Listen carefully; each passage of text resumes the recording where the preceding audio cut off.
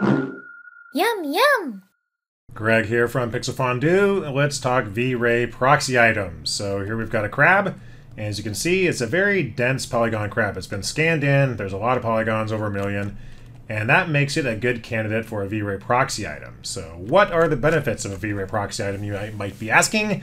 Why would I want to do this? Well, there's three things in particular. One, is going to speed up your viewport performance because it's essentially going to take all this uh, geometric data, all this high density geometric data, and it's going to offload it into onto a file on your hard drive, which it will then read back into memory when it's rendering.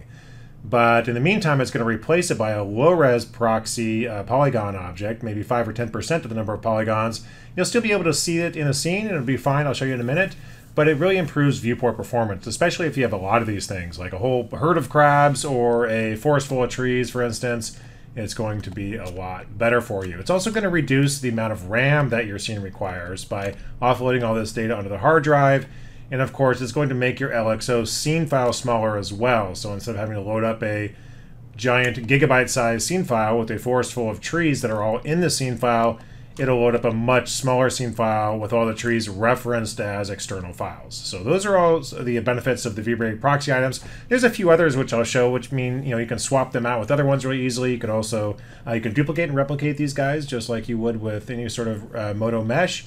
And um, you can also do some things with the animation that are pretty nice. So let's take a look. Let's select our crab here. You'll notice the ghost crab up here in the item list. That's going to be the name of the file on disk, ghostcrab.vrmesh. If you want a different name, you can uh, rename it over here, or of course you can rename the mesh later. Up here in V-Ray dropdown, we have the convert to V-Ray proxy. That's what you want. Let's select that, and we have this requester here. So, a couple things. If this is the first time you did this in a scene, it's going to ask you for a file location. I've already converted at least one item in the scene, so it's just going back to that uh, first location specified. There is no browse button, oddly, so I can't just switch file locations without typing in a new location or copy and pasting it from Explorer or Finder or whatever. So that's a little odd. Um, export type, so I can do a separate VR mesh file for each item or a single VR mesh file. Well, that's interesting because what I can do is I can actually grab multiple items. So if I wanted to grab the ghost crab and the ground and the water all at once, and export them as to one big blob of a file. I can go, you know, to a combined VR mesh file, or I can just um, do them all at once, and it'll spit out three different files based on the name in the item list. So a Ghost Crab VR Mesh, Ground VR Mesh, and Water VR Mesh. So you can automate this if you're doing a bunch of trees at once or whatever. It's really nice. I need to have override existing files checked if I already have a Ghost Crab VR Mesh um, written, which I do because I've done a test scene with this. It again, it acts a little non-standard. If I don't have that checked, it's going to just not allow me to overwrite it. It's not going to say, "Do you want to overwrite the file?" like you would if you're trying to save over an image or something. It just won't do it. So you want to have that checked if you already have one in there. Um, animation I'll get to in a minute. It will export polygon tags automatically, so you can have the uh, textures appear in the right places. If you want to export part tags or selection set tags and perhaps use those later on, you can do that as well. If you check these, it's not checked by default, so it will um, save on some memory there. Um, you know, the sub-decage or the ratio of faces in preview, this is going to be the amount of polygons in the proxy item that it replaces your crab with. So 10% of a million is about 100,000. I can drop that down even more to 5%. Again, you got to be a little careful in these dialogues because if I hit return, it's going to actually just start going. So I'm going to tab my way out of that. Um, faces per voxel, it does a sort of uh, voxelization as well if you'd like to for the proxy item. And you can control that here. And the auto create V-Ray proxy items. This is not typically checked by default, but what this is going to do is if you don't have it checked, it's just going to create a file on your hard drive. Uh, if I want it checked, it's going to replace this in the scene with the V-Ray proxy item, which is nice. So I'm actually going to do that. Hit OK, and it's going to start writing that file to my hard drive. And then you're going to see this mesh item here replaced by a V-Ray proxy item. And there it is. So this is a V-Ray proxy item. It renders just the same. You can see the rendering updating. And over here you have a path to the mesh file, right? Right there, crab, ghostcrab.vrmesh. Pretty cool. And down here, you see a much lighter polygon version of my crab. I can still tell what it is. It's crab. Pull back. It's crab. Um, but it's much lighter, and it's going to be much faster. Again, if I had a whole bunch of crabs, a whole pack of crabs, then uh, this would be important, especially with trees. Um, I can also do things like duplicate this. If I just want to Control D duplicate this, I can duplicate it like any other item. and I can transform it if I want, you know, move it back here. Now I've got a couple of them in the scene. Let me just pull back my camera a bit. Now I've got a couple of ghost crabs in the scene. Pretty cool, right? So I can also instance these, and I can also replicate them along points. So they act much like uh, typical mesh items, but they're V-Ray proxy items. What's also nice, like I mentioned earlier, I can actually just go in and switch this out by pointing to another file. You'll notice here I've got, um, it does, like I said, it brings those material tags into the V-Ray proxy item. I will not be able to see them in info statistics. There is no indication of what material tags are in there. So I have to know what's in there, and I'll get back to this a little bit later. So if I just do like a, a region render, I'll show you um, if I the eye stalks here, if I change the color here, you'll see that that does, you know, register in the V-Ray proxy item. Like that. So it can change my colors. But if I do something like import a V-Ray proxy item, I'm not going to get the shader tree nodes by or layers by um, default, and I'll show you how to deal with that in a minute. So like I said, I can I can convert this guy or switch this guy out to something else. I can just browse and, and pick my elbow crab VR mesh here and bring it in, and it just points to that file. So me take off region rendering. Now I've got the ghost crab and the elbow crab, which is a really weird looking dude, in the same scene and it was just a matter of replacing the uh, or pointing to a different file which is pretty cool. So if I want to change an oak tree to a cherry tree point it to a different file. Really easy if you're creating a forest. Now you'll notice that it did not bring in any of the ghost crab materials. Now but the polygon tags are still there. I just can't see them here right? So I will show you let me just prove to you that they're here. I'm going to add a group and then I'm going to say material uh, elbow crab legs. So it does see that they're in the scene. I just don't see them in the info list. And then of course I can um, you know add a material here, like a V-Ray material. Boom. And change the color of those guys. Turn yellow. And you can see that it's, it's working, but I don't get those imported in the scene.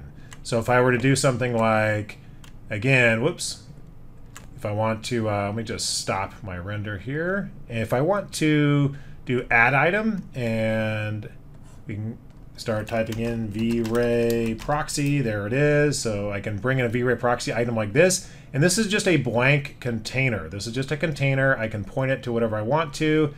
And we just go my browse here. I'll say I want to bring in another ghost crab mesh or an elbow crab mesh. Um, it's going to bring it in right there at 000. But again, it's not going to bring in the shader tree with it. This I had there you know, previously. Um, and there's at least one other material tag in there. So what you can do in this case, this is the way I'd recommend working, is the reason I'm showing you all this stuff. If I go over here to my elbow crab scene, here's my elbow crab, and uh, I'll just go ahead and start the V-Ray render here. And it's already converted to a proxy item. So you can see there's the you know decimated mesh, and it's a just a V-Ray proxy item here in the list. And I've got my a couple different materials here. I have the, the legs and the body, a red on the body and a green on the legs. So what I can do is just save this, you know, scene as a LXO, and if I want to bring those into the ghost crab scene, so I go back to my ghost crab scene up here, and uh, it's going to take a second as it has had the renderer going, so it's going to start rendering right away. And we just um, stop the renderer, and I'm going to delete my V-Ray proxy item, my ghost crab item here, that are basically the two elbow, elbow crabs are pointing to the elbow crab files. And so I'm just back to Mr. Ghost Crab. I'm going to delete this elbow crab guy in the shader tree. So if I import that LXO, it's going to bring in the elbow crab LXO. It's going to bring in the V-Ray proxy item and the shader tree material. So you see it right there. There's my two shaders. And here is my elbow crab proxy item. It will bring in the lights and camera, which I can delete. And as we all know, it always brings in the environment, as annoying as that may be. Kick the elbow crab environment out, since we already have an environment. Um, but that's that's the way I'd recommend prepping your V-Ray proxy items is get all the texturing done first, and we'll just uh, start this up here. Get all the texturing done first, um, you know, save your scene, then convert it to your mesh to a V-Ray proxy item and save that scene as a you know you know V-Ray proxy.lxo. And that way you can bring in all the shader tree material at once. So if I had prepped a bunch of trees or a bunch of other crabs, I wouldn't really just open up uh, add new V-Ray proxy items to the item list and then point to the files, unless I already had the materials in the shader tree, I'd probably import the LXO with the V-Ray proxy and the shader tree materials in it. Okay, I think we're all on the same page there. I hope got all that. Let's take a look at an animated scene really quickly. This scene right here is a pelagic stingray, a stingray that lives way out in the middle of the open ocean. They're kind of cool animals. And it has quite a bit of uh, deformation animation going on there. It has these magnet deformers going around, creating this rippling effect. Pretty neat. Well, what if I want to create a V-Ray proxy out of this guy? Um, pretty easy, actually. Do the same thing. You select it, and up here in V-Ray and the v convert to V-Ray proxy, turn on animation. So you have some options here. It'll actually save some uh, velocity with the uh, basically the velocity uh, delta with the points um, in the scene file. So it'll it'll be able to render with motion blur, which is pretty cool. Or you can do animation without velocity, which is not going to save that extra data, so you won't be able to do motion blur.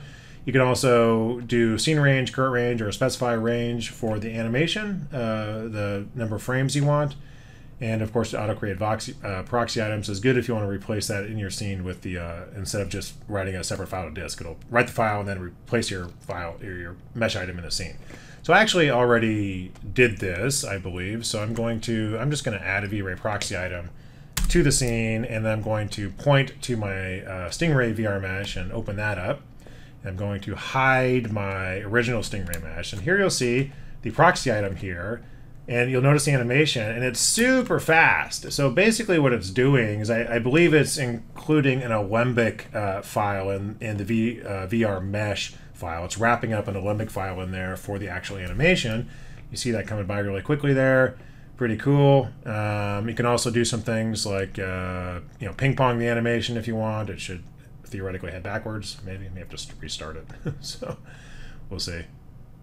Yeah Maybe you have to change the settings, but you have some. Uh, oh, maybe you have to do that. So yeah, you have some sequence start length and uh, start and length and things like that. So we can change those around and uh, ping pong settings. And there's some some nice um, parameters here for the Alembic proxy item. Uh, so that is again a really nice way of speeding it up because if I hide this guy and turn on my V-Ray, or I'm sorry, my my rigged item, you know, it's calculating all those deformations on a sub-D mesh um, in real time, and it's very pretty slow. There's a lot going on there. There's a lot of bones, a lot of magnet deformers.